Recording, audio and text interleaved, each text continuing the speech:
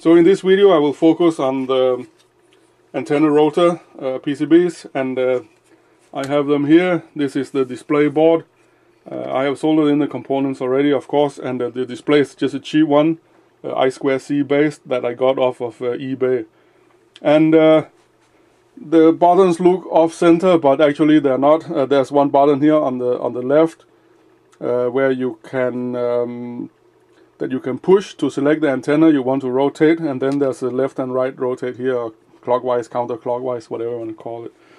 Um, on the back there is nothing really. There's a PIC controller uh, an optocoupler and uh, some power input on this side here.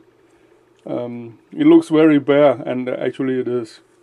So uh, this one this board here will be uh, in my uh, office and uh, there will be six wires here going through uh, the unit that is uh, on the roof or in the in the attic sorry.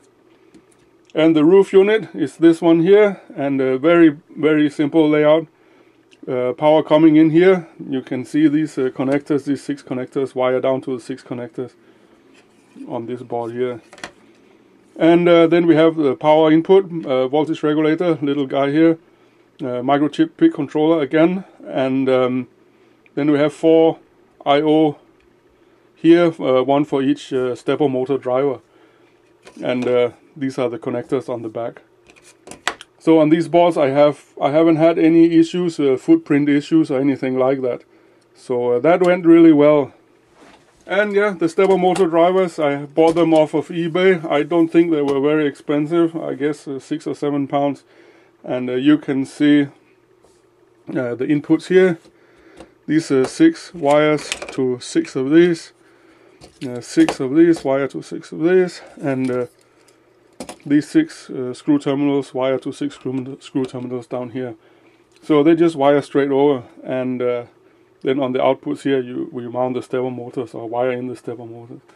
So uh, yeah the cables are coming in from the indoor unit coming in through here at the bottom and then uh, fan out through here so uh, yeah, that's uh, it for now. I will uh, start doing the firmware and do another video on that later when that is up and running.